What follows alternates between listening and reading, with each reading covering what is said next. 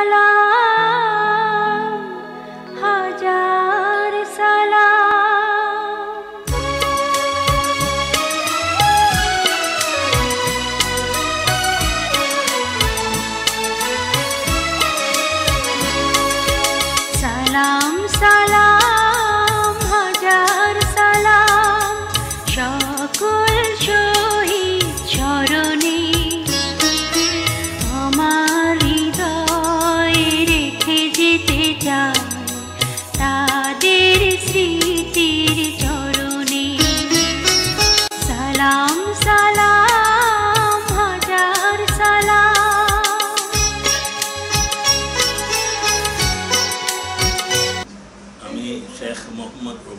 ওবায়দুল্লাহ বিন সাঈদ জালালাবাদী, পিতার নাম মৌলবী মোহাম্মদ সাঈদুল্লাহ, মা করফুলনেসা দুইজনই মৃত। আমার গ্রামের বাড়ি টুকেরগাঁও, পোস্ট অফিস টুকের বাজার থানা কোতোয়ালি, বর্তমানে জালালাবাদ জেলা সিলেট। আমি যখন মুক্তিযুদ্ধে অংশ নেই, তার পূর্ববর্তী সময়ে বঙ্গবন্ধু আমাকে একান্ন পুরানা পল্টনে আওয়ামী লীগের কেন্দ্রীয় দপ্তরে একটা রুম দিয়েছিলেন ওইখান থেকে আমার কার্যক্রম পরিচালনার জন্য এবং একান্ন পুরা, পুরানা পল্টনের নিচতলা থেকে আমি আমার পাবলিসিটিমূলক কার্যক্রম শুরু করেছিলাম। যখন বঙ্গবন্ধু ছয় দফা কর্মসূচি পেশ করেন জাতির সামনে, তখন এদেশের ধর্মীয় নেতারা আলেমুলামারা সবাই এক বাক্যে, এটা ইসলাম বিরোধী, এটা পাকিস্তানের সংহতির বিরোধী বলে প্রত্যাখ্যান করেন এবং এর ফলে ধর্মীয় লেভেলে, ধর্মীয় মহলে এর বিরূপ প্রতিক্রিয়া সৃষ্টি হয়। আমি তখন একটা বিবৃতি দিয়েছিলাম ছয় দফা কর্মসূচির পক্ষে যে বাঙালির মুক্তি সনদ ছয় দফা, এটা ইসলাম বিরোধী নয়। এটা ইসলামের বিরোধী তো নয় বরং সহায়ক। এই বলে আমি একটা বিবৃতি দান করি। এই বিবৃতি দেখে বঙ্গবন্ধু আমাকে বলেন, আপনি যেভাবে ছয় দফাকে সমর্থন করেন, আপনার কিছু বন্ধু বান্ধব নিয়ে আপনি একটা ধর্মীয় সংগঠন গড়ে তোলেন, তখন আমি আওয়ামী উলামা পার্টি নাম দিয়ে একটা ধর্মীয় প্রতিষ্ঠান কিছু আলিম উলামাকে নিয়ে গড়ে তুলি। একই সাথে ইসলামী বিপ্লবী পরিষদ নাম দিয়ে আরেকটা সংগঠনও গড়ে তুলি। কারণ আমি চিন্তা করলাম, একটি সংগঠন যদি ধর্মীয় মাত্র একটি সংগঠন আওয়ামী লীগকে সমর্থন দেয়, তাহলে এটাই যথেষ্ট হবে না। তাই আমি ইসলামী বিপ্লবী পরিষদ নাম দিয়ে আরেকটি সংগঠন গঠন করি। একসাথে দুইটা প্রতিষ্ঠান পরিচালনা করতে শুরু করি। আমার সাথে মৌলানা অলিউর রহমান মরহুম, যাকে মুক্তিযুদ্ধের সময় শহীদ করা হয়েছে, খান সেনারা বা তাদের দূষণরা তাকে লালবাগে শহীদ করে এবং আরও কিছু আলিমুলমা ছিলেন, তাদের, তাদেরকেও হত্যা করা হয়। ওই সময় শরীয়তের দৃষ্টিতে সৈদফা নামে একটা কর্মসূচি মৌলানা অলিউর রহমান সাহেব রচনা করেন। এবং তা আমি প্রচার প্রকাশ করি এবং দেশব্যাপী তা ছড়িয়ে দিই। এবং জামাত ইসলাম যে প্রকৃত ইসলামী সংগঠন নয়, তার বিরুদ্ধে সাতখানা বই কিতাব লিখে তা প্রচার করি দেশব্যাপী। তখন কবি আল মনসুর বয়াতি, উনি অনেকগুলো কবিতা এইসবের সপক্ষে লিখেছিলেন। তার দু তিনটি চরণ আমি স্মরণ করছি। আবুল আল্লাহ মহদুদির সরস উদ্ঘাটনে সাতখানা বই জালালাবাদী লেখিলেন তখনে। লক্ষ লক্ষ কফি দিলেন জনগণের হাতে মহদুদির গুমর ফাঁক হইয়া গেল তাতে। মনসুর বলে, ভাই সকলে শুনেন বলে যাই আবুল আল্লাহ এমন নামটি কবু শুনি নাই। আবুল আল্লাহ অর্থ হলো আল্লাহর পিতা। তো সুতরাং এই নামটাই বিভ্রান্তিমূলক। আল্লাহর বাপ নামে কেউ আখ্যায়িত হবেন মুসলমানদের মধ্যে, এটা আমরা আশা করিনি। এই সমস্ত প্রশ্ন- তখন জাতির সামনে, দেশের সামনে, জনগণের সামনে আমি তুলে ধরেছিলাম। আমাকে মুক্তিযুদ্ধকালীন সময়ে শঙ্কর গোবিন্দ চৌধুরী নাটোরের এমএনএ ছিলেন। উনি একদিন গড়ের মাঠে বললেন, মৌলানা, আপনার কারণেই আমরা মার খেলাম। আমি বললাম, কীভাবে? বলে, আপনি যদি এই ধর্মীয় বই পুস্তক না লিখতেন তখন আওয়ামী লীগের পক্ষে জমাতের বিরুদ্ধে, তাইলে এত ভোট আমরা হয়তো পাইতাম না। আর না পাইলে এই দেশে এই দুর্যোগের সৃষ্টি হতো না। যাই হোক, আমাদের সৌভাগ্য যে একচেটিয়া আওয়ামী লীগ পাশ করছে, ধর্মপ্রাণ মানুষ সবাই আওয়ামী লীগকে ভোট দিয়ে দিছে। তো এই সমস্ত কার্যক্রমের মাধ্যমে আমার রাজনীতির শুরু। এই যে রাজনৈতিক অবস্থান ছিল আমার, জমাতের বিরুদ্ধে বঙ্গবন্ধুর প্রদত্ত ছয় দফা কর্মসূচির পক্ষে, এই এই সমস্ত নিয়ে ব্যস্ত ছিলাম। পঁচিশে মার্চ দিবাগত রাত্রেও আমি একান্ন পুরানা পল্টনের আওয়ামী লীগ অফিসের নিচতলায় আমার রুমেই অবস্থান করছিলাম। দিনে বঙ্গবন্ধুর এখানে আমার যাওয়া হয়, উনি সরে যাওয়ার জন্যই বলছিলেন। তো আমি খুব একটা কী করি না এই ব্যাপারে। রাত্রে ওইখানে থাকলাম, রাত্রে বারোটার পরে আওয়ামী লীগ অফিসের টেলিফোন লাইন কেটে দেওয়া হলো। অনেকগুলো ফোন আসছিল তখনই, আপনার বারোটার আগে এগারোটা সাড়ে এগারোটা পনেরো বারোটার দিকে, যে আপনার পাক সেনাবাহিনী ট্যাঙ্ক নিয়ে রাস্তায় নেমেছে। আমরা কি করব? বিভিন্ন মানুষ ফোনে জিজ্ঞেস করছে। আমি তাদেরকে বললাম যে, বঙ্গবন্ধু মোকাবেলা করার জন্য বলছেন। তোমরা যান প্রাণ দিয়ে মোকাবেলা করো। পরের দিন সকালে মরুর হোটেল একটা ছিল, হাউস বিল্ডিং ফাইন্যান্স কর্পোরেশনের পাশে পুরানো হোটেলে। মরুর হোটেলের পিছন দিকে গিয়ে আমি নাস্তা করছিলাম। তখন আকাশ বাণী খবর পড়ছি দেবদুলাল বন্দ্যোপাধ্যায়। পূর্ব পাকিস্তানে গৃহযুদ্ধ শুরু হয়েছে। অজস্র মানুষ, অসংখ্য মানুষ পাক সেনাদের গুলিতে মৃত্যুবরণ করেছেন। প্রথম প্রথম নিউজটাই এইটা ছিল। হঠাৎ এই খাওয়ার মাঝখানে নুরুল হোটেলের সামনের দিকে খান সেনারা এসে ঘেরাও করছে। ঘেরাও করে বন্দুকের বাড় দিয়ে মারছে বাড়ি। নিকলো সুয়ারিকে বাচ্চে আমরা ফিস ফিস করে আলাপ করতেছিলাম ভিতরে। এরপরে উঠে দিছি আমি দৌড় পিছন দিকে অনেকেই দৌড়ে পালিয়ে গেছে। কিছুক্ষণ পরে ওহাব নামে একটা পিয়ন ছিল লীগ অফিসের ও বলে, হুজুর, আপনি তো পালিয়ে আসলেন। জানেন আমাদেরকে নিয়ে খানসানারা কি করছে কি করছে? বলে, আমাদেরকে ওরা ধরে নিয়ে বলছে, তোমাদেরকে মারবো না আমরা। তবে ওই যে হাউস বিল্ডিং ফাইন্যান্স কর্পোরেশনের সামনে যে ব্যারিকেড আছে গাছ টাছ গাড়ি টাড়ি দিয়ে ব্যারিকেড দেওয়া আছে। এইগুলা তোমরা উঠিয়ে দাও, তোমাদেরকে ছেড়ে দেবো। তখন আমরা এগুলা উঠিয়ে দিছি এবং আমাদেরকে কিছু করে নাই। আমি বললাম অভাব এক্ষুনি আওয়ামী লীগ অফিস আক্রান্ত হবে। এই বলতে না বলতেই খান সেনাদের আপনার ট্যাঙ্ক আর ওই সাজুয়া গাড়ি এগুলো এসে করে আপনার আওয়ামী লীগ অফিসের গেটে গুলি শুরু করছে। আমি পিছন দিকে অন্য বাড়িতে গিয়ে তারাও জায়গা দেয় না।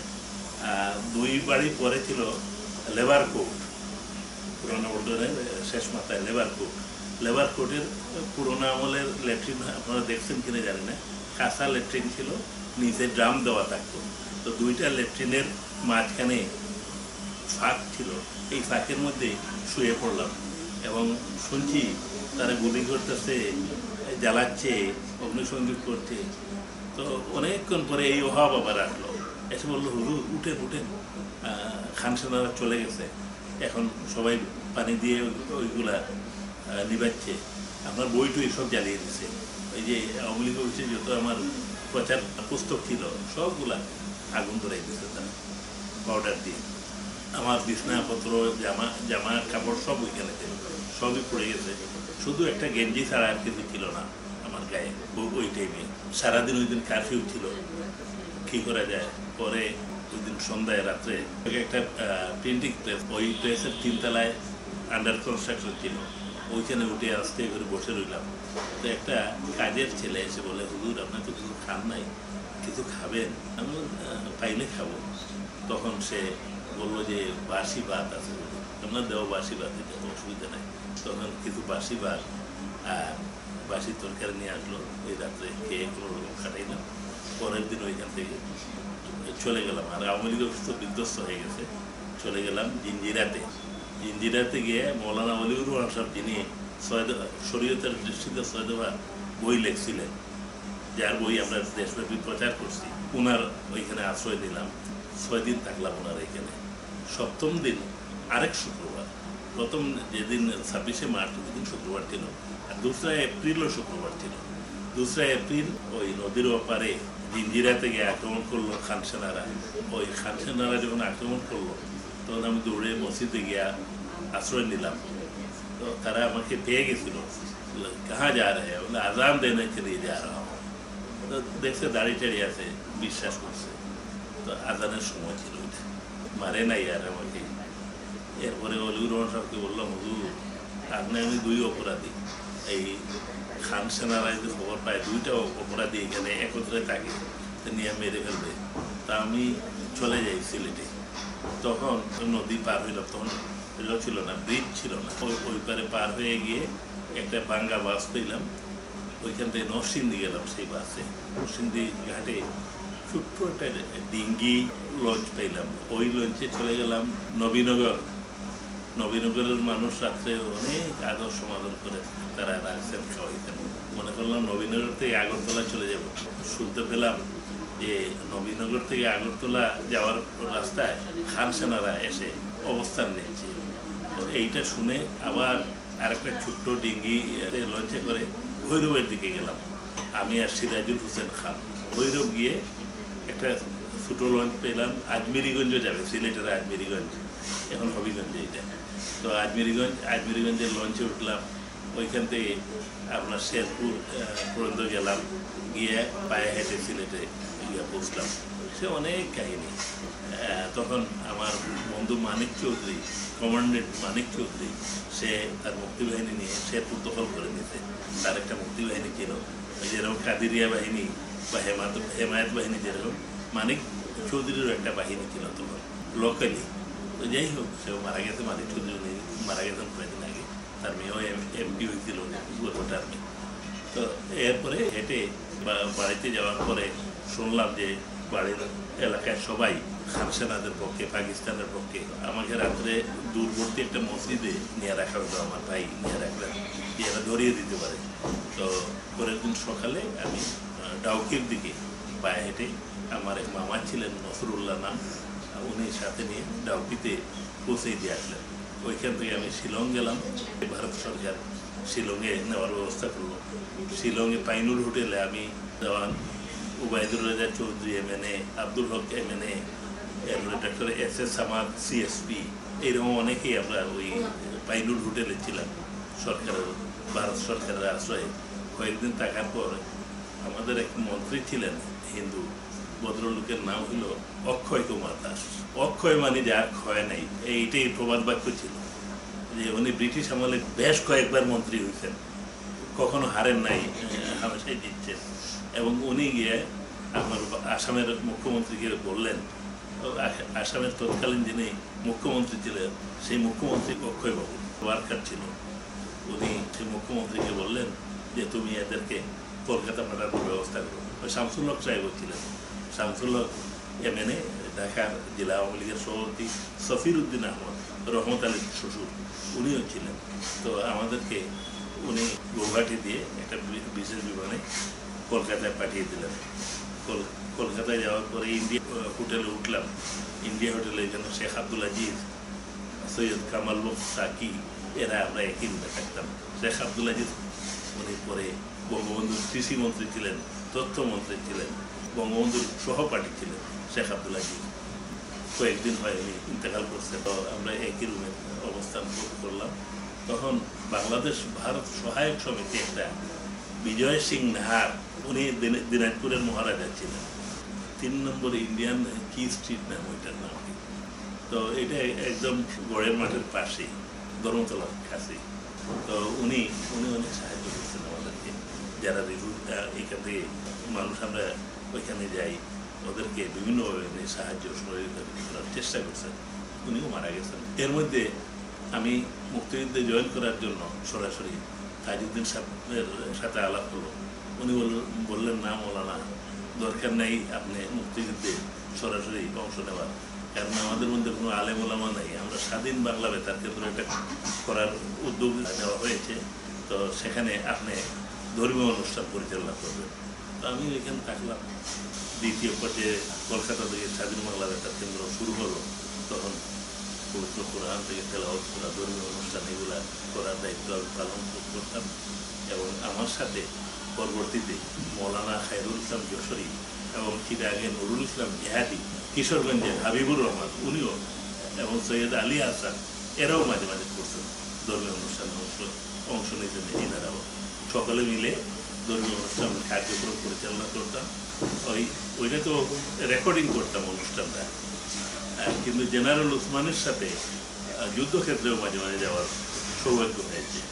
তো ওনার সাথে একটা জয়পুরের মহারাজা একটা বিমান দেখোটা বিমান দিয়েছিলেন সেই বিমানে করে রণাঙ্গনের বিভিন্ন জায়গায়, বিভিন্ন সময়ে যাওয়ার সুযোগ হয়েছে আমার। এবং অনেক দুর্লভ অভিজ্ঞতা হয়েছে চোদ্দ ডিসেম্বর উসমানী সাহেব আমাকে নিয়ে, এরপরে শেখ কামাল, মোস্তফা আল্লামা, ক্যাপ্টেন খালেক সাহেব ওনার নেতৃত্বে ওই ডেকোটা বিমানটা পরিচালিত হয়েছিল। তো ওইটা কলকাতা থেকে চোদ্দ ডিসেম্বর রওনা দিল। রাত্রে আপনার বালুরঘাট বাগডুগরা এই সমস্ত বিমান ক্ষেত্রে গিয়ে অবতরণ অবতরণ করল। উসমানী সাহেব মুক্তিযোদ্ধাদেরকে ব্রিফিং দিলেন। বিভিন্ন জায়গায় দিয়ে এরপরে রাত্রে হয়ে গেল? গুয়াহাটি সেখানে সুরঞ্জিত সেনগুপ্ত বললেন যে, উনি তখন আওয়ামী লীগ করতেন, উনি তখন নেপ পার্টি করতেন, ন্যাশনাল আওয়ামী পার্টি মুজাফর তো বললেন বলো না উনি আমাকে ছোটোবেলাতে ইতু মিতুমিদের কথা বলতেন সুরজিৎ বাবু। একটু সিনিয়র ছিলেন আমার কিন্তু বন্ধু বলতেন তুমি বলল না তুমি আমার বোনের বাড়িতে চলো। তা আমি মনে করলাম যে, উনি কাজ ঠিক যদি ওনার সাথে আমি যাই ওনারা যদি আবার কিছু মাইন্ড করে সেই পরিবার, তো এই জন্য আমি বললাম, না, দাদা, আমি জেনারেল খেলার সময় সাথেই ওই ইয়েতে থাকব না। গৌহাটি রেস্ট হাউসে বিল্ডের রেস্ট হাউসে তো। রাত্রে গৌহাটি রেস্ট হাউসে ছিলাম। পরের দিন পনেরো ডিসেম্বর আমরা আবার শিলচর হয়ে আগরতলার দিকে রওনা দিলাম। এইভাবেই মুক্তিযুদ্ধের সময় শেষে সেই বিমানটা সিলেট যাওয়ার পথে উসমান শাহ আক্রান্ত হইলেন এবং আক্রান্ত হয়ে হেলিকপ্টার বিধ্বস্ত হয়ে সেন্ট যুগেন্দ্রের এখানে। আমি তো ওই টাইমে ওনার সাথে ছিলাম না। যারা ছিলেন, কর্নেল রক ছিলেন চিফ অফ স্টাফ উনি আহত হন, মুস্তফা আল্লামা সেবা আহত হয় শেখ কামালও মনে হয় কিছুটা আহত হয়েছিল। ব্রিগেডিয়ার উজ্জ্বল গুপ্ত ছিলেন আমাদের ভারতীয় সেনাবাহিনীর পক্ষ থেকে উসমানের সাহেবকে দেখাশোনা করার করার দায়িত্বে ছিলেন। এইভাবেই আপনার ষোলো ডিসেম্বর এসে গেল।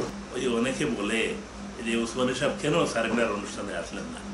আসলে ব্যাপারটা হলো এবং উসমানী সাহেব আমাকে বলছিলেন টাইমে আমি অরোরার সাথে পাশে বসবো না।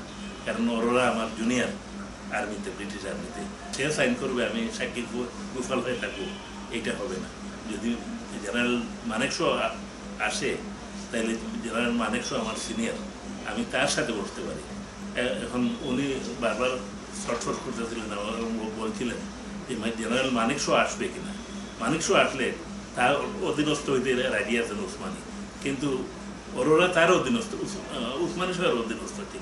সুতরাং অরোরার সাথে ইয়ার পাশে সাক্ষী গুহাল হয়ে থাকতে উনি রাজি হন নাই। এইটা আমি প্রত্যক্ষ সাক্ষী এবং আমাকে বারবার বলতেছিলেন মানিক না আসলে আমি এই অনুষ্ঠানে অংশ নেব না। যে কারণে উসমানী সাহেব এখানে আসেন নাই। এখন অনেকে অনেক প্রশ্ন করেন এরপরে তো ষোলো ডিসেম্বর সারেন্ডার হয়ে গেল এখানে আর আমি আবার কলকাতা চলে গেলাম। সেখান থেকে পরে রাস্তা দিয়ে বাংলাদেশে আসে ঢুকলাম। স্বাধীন বাংলাদেশে ঢুকলেন কত তারিখ? স্বাধীন বাংলাদেশে আমি ঢুকছি ছয় বা সাত তারিখে মনে হয় জানুয়ারিতে। তাৎক্ষণিক ঢুকি নেই টোটাল বারো টাকা না চোদ্দ টাকা লাগছিল আপনার ইন্ডিয়ান টাকা এই ঢাকা পর্যন্ত পৌঁছতে বেশি পয়সা লাগে না। স্বাধীন বাংলা বেতার থেকে যা পাইতাম না পাইতাম সেটা যথাসামান্য কিন্তু মুজিবনগর সরকারের পক্ষ থেকে মাসে মোহাম্মদুল্লাহ সাহেব পর- পরবর্তীকালে রাষ্ট্রপতি হয়েছিলেন তিনি আমাকে মাসে দুইশো টাকা ভাতা দিতেন। তো সেই দুইশো টাকা দিয়ে আমার মোটামুটি ভালোই চলতো। প্রত্যেক মাসে দুইশো টাকা। আট নম্বর থিয়েটার রোড থেকে আমাকে দেওয়া হতো। তো এইভাবেই মুক্তিযুদ্ধে আমি যতটুকু পারছি অবদান রাখার চেষ্টা করছি। এখানে আসার পরে যখন শেখ আব্দুল আজিজ আহ, তথ্যমন্ত্রী হইলেন, উনি রেডিও বাংলাদেশের, বাংলাদেশ বেতারে, রেডিও বাংলাদেশ, তো পঁচাত্তরের পরে হইতে বাংলাদেশ বেতারে স্টাফ আর্টিস্ট করলেন ধর্মীয় অনুষ্ঠানে। বেশ কিছুজন স্টাফ আর্টিস্ট হিসেবে ছিলাম যখন বঙ্গবন্ধুকে হত্যা করা হলো, তখন তারা আমাকে, মৌলানা যশোরীকে এবং আরও অনেককে, আব্দুল জব্বার এদেরকে, অনেককেই, যারা স্বাধীন বাংলা বেতারে ছিল, তাদেরকে বাদ দিয়ে দিল আমাদের জাতির পিতাকে হত্যা করা হলো, আমরাও তার সাথে সাথে মৃত্যুপথ যাত্রী হয়ে গেলাম আর কি দেশের বারোটা বাহিনী আর কি। যাই হোক আল্লাহ আমাদের জাতির পিতাকে জান্নাত নজির করেন এই দোয়াই করি। আমি জাতির পিতার সাথে খুব ঘনিষ্ঠভাবে জড়িত ছিলাম এই ফটো আছে অনেকগুলা। ছবিটা কোথায় তোলা হয়েছে এইটা শেরে বাংলার মাজারে। এই এটা সরোয়ার্দি সাহেবের মাজারে। এই পাশে রাজ্জাক সাহেব তুফাইল সাহেব আছেন আমিও আছি। মুক্তিযুদ্ধের একটা অন্যতম নীতি ছিল অসাম্প্রদায়িক বাংলাদেশ। বর্তমান বাংলাদেশ কি অসাম্প্রদায়িক সেই চেতনাটাকে ধারণ করছে? না, তা আপনার অসাম্প্রদায়িক পুরোপুরি বলা যাবে না। এটা মানে যোগা খিচুড়ি হয়ে গেছে বুঝলেন আপনার গুরু চণ্ডালী টাইপের হয়ে গেছে। এক এক শাসক এক একেবারে আসছেন কেউ রাষ্ট্রধর্ম করছেন কেউ আপনার করছেন এইগুলা অনেক গড়বড় হয়ে গেছে। এইগুলা আপনার অসাম্প্রদায়িক বলবেন কেন? তো মোটামুটি আছে আর কি আপনার খিচুড়ি মার্কা ভাষা আপনার অসাম্প্রদায়িক পুরোপুরি চলে না। এমনই এক বিষয় যে সরকারও ইচ্ছা করলেও এটা সংশোধন করতে পারছে না।